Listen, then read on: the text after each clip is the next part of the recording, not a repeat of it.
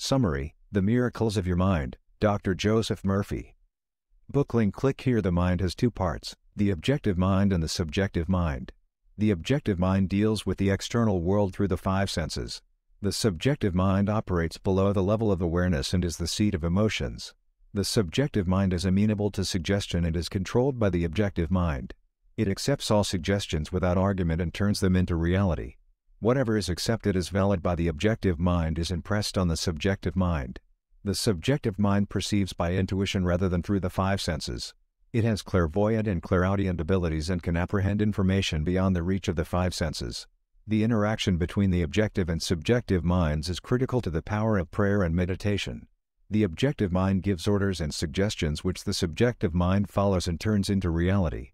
Feel and repetition convey ideas and beliefs to the subjective mind. Whatever is valid will be accepted and made manifest by the subjective mind. Examples of how the subjective mind follows the orders and beliefs of the objective mind, even when illogical or unrealistic. The mind must be guarded since the subjective mind will follow any directions. To use the mind for healing, one must relax, immobilize attention, and affirm the healing power of the mind while visualizing the body's healing. Negative and resentful thoughts will neutralize the benefits. Consistency and persistence are key. In summary, the subjective mind is the engine room following the orders of the captain, which is the objective mind. The ship goes where the captain directs, even onto the rocks. The heart corresponds to the subjective mind in ancient teachings. Your mind has two parts, the conscious and subconscious mind. The subconscious mind controls your body functions and sensations. The symptoms of diseases can be induced in hypnotized people through suggestion. This shows that the cause of diseases is in the mind. Similarly, healing can also happen through the mind. All forms of healing, whether modern or alternative medicine, religious or spiritual, work through the subconscious mind. The subconscious mind is the only healer. It knows how to heal a wound or cure a disease. Healing requires faith, a positive attitude and expectancy of getting well. This activates the healing power of the subconscious mind. The method or technique used for healing does not matter. Anything that can change your mind and induce faith and optimism will heal. The subconscious mind responds to any method that can instill faith and expectancy. Denying the existence of disease may seem absurd but it can work for some people because when the conscious mind is relaxed, the subconscious mind can be impacted through suggestion. What matters is activating the subconscious mind through faith and expectancy. No one healing method is superior or uses a different power. All methods work through the activation of faith in the subconscious mind. Each method may claim its theory is correct, but faith is the process underlying all healing. The main ideas are that the mind has power over the body, the subconscious mind is the healer, faith and positive expectancy are required for healing, and the method or technique used does not matter as long as it can instill faith and activate the subconscious mind. The summary highlights how the subconscious mind and faith are ordinary in healing. Here is a summary of the key ideas. The subconscious mind controls many bodily functions, influencing health and healing. It responds to beliefs, suggestions, and feelings the conscious mind accepts as accurate. To harness the power of the subconscious mind, you must gain its cooperation by convincing it of what you want it to do. Merely stating the opposite of the problem, for example I have no headache, often does not work because the subconscious mind does not accept contradictions easily. It is better to state that the problem is passing away or changing for the better. The subconscious mind responds best to positive, repetitive suggestions, especially right before sleep. Affirm that the body and mind are becoming whole, pure, and perfect. Focus on the solution, not the problem. Do not give names or constantly talk about ailments, as this can strengthen them in the subconscious mind. Instead, become a good mental surgeon and cut them off from attention and fear. A technique to impress the subconscious mind is to purposefully pass over a request from the conscious to the subconscious mind. The subconscious mind will then take over the request and work to bring it about. Have belief, faith, and expectancy that the subconscious mind can heal. However, do not try to coerce or force it. The subconscious mind knows more about healing the body than the conscious mind. Trust in its ability to restore health and balance. In summary, the theory is that the subconscious mind significantly influences the body and health. By using targeted techniques, especially positive suggestion and focused attention, we can harness the power of the subconscious mind and direct it to improve our health and well-being. The key is impressing the subconscious mind with the desired outcome, avoiding contradiction and criticism, and having faith in the mind's abilities. This summarizes the theory and methods presented in the passage. The alcoholic has a mental illness and needs mental healing. The problem drinker cannot drink normally and excessively for long periods. The alcoholic claims to be seized by an uncontrollable passion for drinking periodically. The alcoholic has established a habit and subjective pattern in the subconscious mind through repeated acts of drinking. The alcoholic fears yielding to the craving again, which suggests to the subconscious mind that he will drink again. The alcoholic's imagination and the images impressed on the subconscious mind lead him to return to drinking. He imagines drinking bouts that then come to fruition. The first drink awakens the sleeping giant of memory and desire in the subconscious, leading to uncontrolled drinking. Imagining the first drink starts the whole cycle again, demonstrating the power of an idea accepted in the subconscious mind. The cure involves expelling the idea of drinking from the mind and implanting thoughts of freedom and sobriety. Autosuggestion, conditioning, and group therapy can help achieve this. The alcoholic uses a lot of effort and willpower to overcome the habit, but this only strengthens the habit due to the law of reversed effort.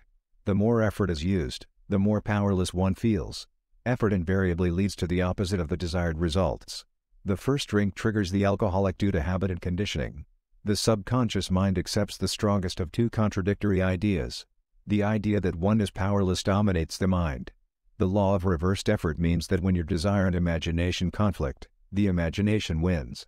Trying hard through willpower leads to the opposite result. This is because the belief in failure is stronger than the belief in success. To overcome alcoholism, one must get the cooperation of the subconscious mind. The subconscious accepts one's dominant feelings, beliefs and convictions. Entering a sleepy state reduces effort and allows ideas to be implanted in the subconscious. The best times are before sleep and after waking. An example is given of an alcoholic who would repeat I am completely free from this habit, sobriety and peace of mind reigned supreme before sleep to recondition his mind. After three weeks, he lost the desire to drink. When urges came up, he would repeat them aloud. Another example is an alcoholic who imagined his daughter congratulating him on his freedom and sobriety. He would relax, get drowsy and focus on this mental picture to impress it on his subconscious. This reconditioned his mind. He knew persistence would lead to success. One is that the conscious mind is like a camera, and the subconscious is like a sensitive plate. Mental pictures must be developed in the darkroom of the subconscious. Focusing attention and mental absorption help with this. The alcoholic is a prisoner of their own making, bound by beliefs, habits, and conditioning. Admitting the issue is the first step. The desire to be free is 50% of the solution. Reconditioning the mind through the subconscious is critical. Beliefs and habits condition the subconscious. Good thoughts lead to good results, and evil thoughts to wrong results. The alcoholic must build the idea of freedom into their subconscious. The alcoholic should focus on freedom and peace of mind. By concentrating on these positive ideas, he will generate positive emotions and feelings which his subconscious mind will accept. Whatever is accepted by the subconscious mind will materialize. Continuing the habit of alcoholism will only lead to deterioration and decay. The alcoholic should say no to the urge and realize that his subconscious mind supports him. Even though it will be difficult, he should imagine the joy and freedom that sobriety will bring. This is using the law of substitution, substituting positive thoughts for negative ones. The alcoholic's thinking controls his actions, whether he realizes it or not. He must discipline his mind to think constructively. One way is through imaginary conversations, like Gouda did. There are many reasons for alcoholism, like resentment, guilt, or low self-esteem. The real reason is negative thinking leading to emotional maladjustment. As a man thinketh in his heart, so is he. Excuses for drinking, like tragedy or lack of money, are not the real reasons. The real reason is negative thinking. The alcoholic tries to escape some sense of bondage caused by his thinking. Promises to quit drinking are meaningless without knowing how to access one's inner power. The alcoholic lacks confidence and poise. The technique for overcoming alcoholism is A. Get still and quiet the mind. Enter a relaxed, receptive state. B. Repeat a simple phrase like sobriety and peace of mind are mine now, and I give thanks over and over to avoid wandering thoughts. C. This conditions the subconscious mind to accept sobriety and peace of mind. Whatever the subconscious accepts will materialize. D. This is an age-old technique. As a man imagines and feels, so is he. Here is a summary of the key points. Most people lack financial security because they do not know how to tap into the power of their subconscious mind. The subconscious mind is an inexhaustible storehouse of wealth and ideas. A poverty mindset leads to poverty-stricken conditions. A mind filled with ideas of wealth attracts prosperity. It is your natural state to be wealthy and have all your needs met. Merely affirming I am prosperous will not work if you do not believe it. Your subconscious mind only accepts what you genuinely believe. Use an affirmation like by day and by night I am being prospered in all of my interests to avoid inner conflict. Repeat the words wealth and success to impress the ideas of prosperity onto your subconscious mind. Feel the feeling of being wealthy and successful. Your subconscious mind gives you compound interest in your mental deposits. Deposit thoughts of prosperity, success, wealth and peace into your subconscious every morning. Do not neutralize them with fearful thoughts later on. Money represents prosperity and freedom. Do not criticize or condemn money. Develop a mindset that money circulates freely in your life, meeting all your needs. Love the idea of wealth until it becomes a deep seated belief that what you love increases in your life. What you criticize fades away. See money flowing into your life and flowing from you in endless circulation. If money is scarce, you have yet to convince your subconscious mind that you will always have plenty. Do not believe hard work and struggle are the only paths to wealth. Develop a mindset that wealth comes to you quickly and frequently. In summary, impress your subconscious mind with ideas of wealth, prosperity and abundance through belief, mental imagery and feeling. A circulation of wealth on the mental plane will manifest as financial abundance in your life. The key to solving marital problems or finding the right partner is using your subconscious mind correctly. Refrain from dwelling on why you cannot find the right partner or have a happy marriage. Fill your mind with positive thoughts and beliefs to attract your ideal partner and build a healthy relationship. To find the right partner, impress your subconscious mind with the qualities you desire in a partner, such as honesty, kindness, loyalty, faithfulness, and prosperity. Repeat these qualities often with feeling and belief. Your subconscious mind will then attract a partner who embodies those qualities according to the law of attraction. You attract what you feel to be true in your subconscious mind. Relax, Close your eyes and visualize the type of partner you want. Repeat the qualities you desire with the belief that your subconscious mind is now attracting such a person into your life. Persist in this practice and you will attract the right partner for you. To improve your marriage, again, do not focus on the negatives or reasons why you cannot have a happy marriage. Focus on the positive. Use visualization and affirmation to see your marriage as strong, harmonious, and successful. Repeat words like happiness, joy, harmony, and prosperity with feeling.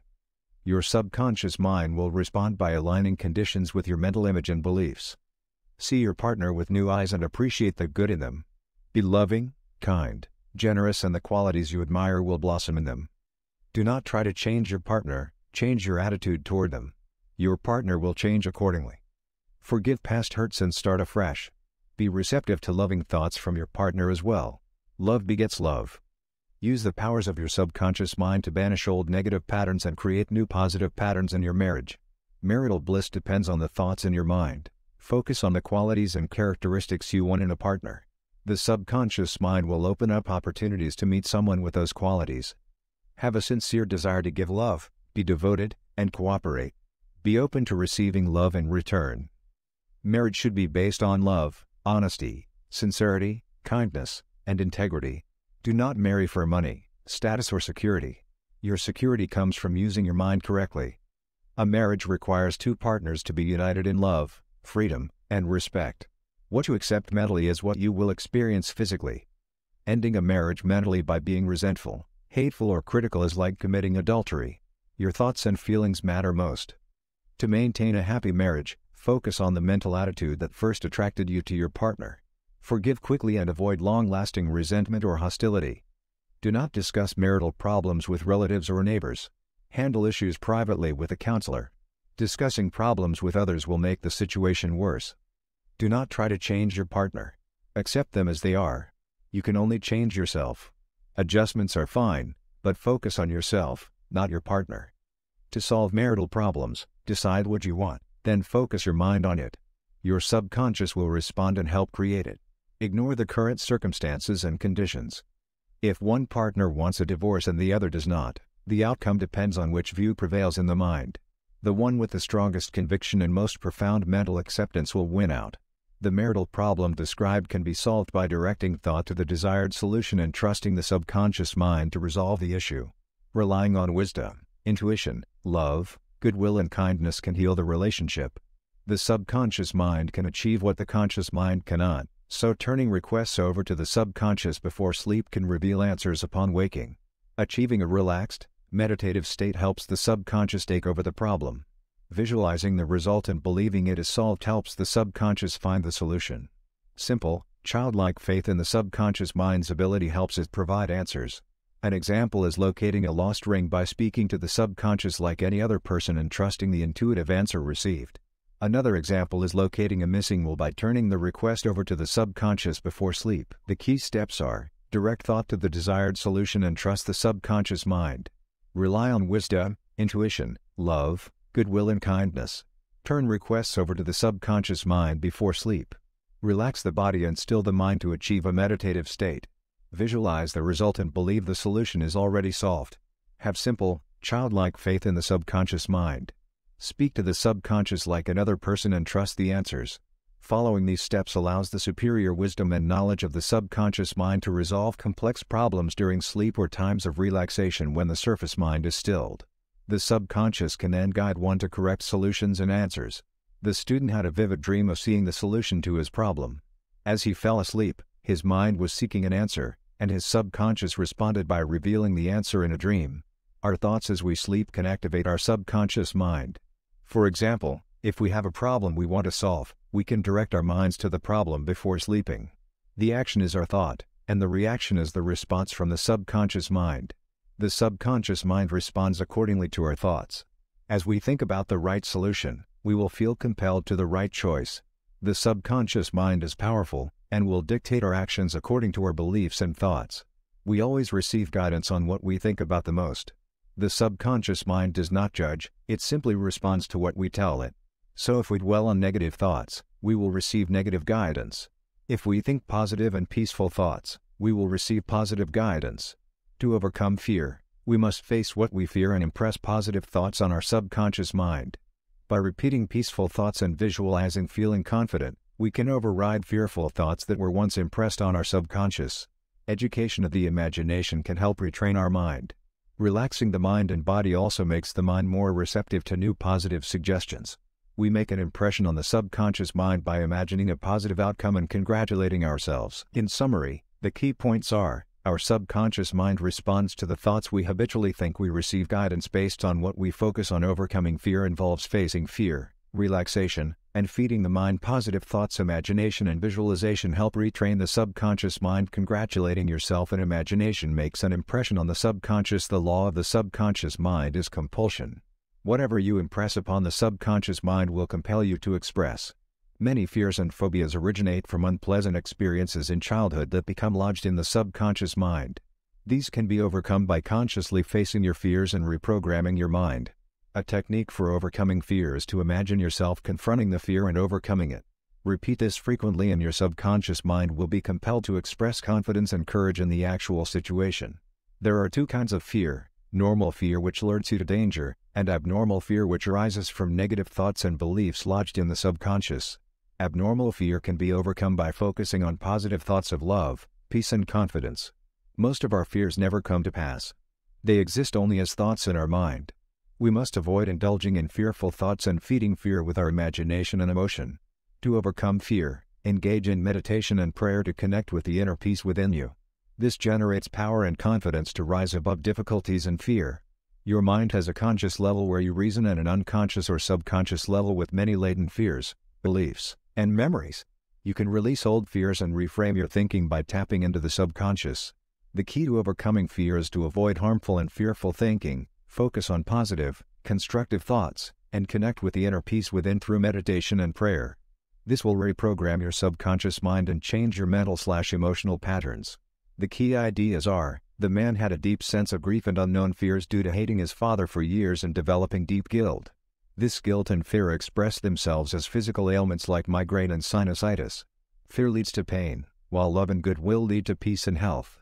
The man realized his trouble was from his guilt, self-condemnation, and hatred that was poisoning him. He began to forgive himself and his father, releasing negative feelings. This helped cure his ailments. I sought the Lord, and he heard me and delivered me from all my fears. The Lord refers to the subconscious mind. Mastering techniques to work with the subconscious mind can free one from fear. Forgiveness and working to release negative emotions and guilt can help improve health and well-being. The story shows how letting go of hatred and fear helped cure the man's physical and emotional suffering. Book link click here.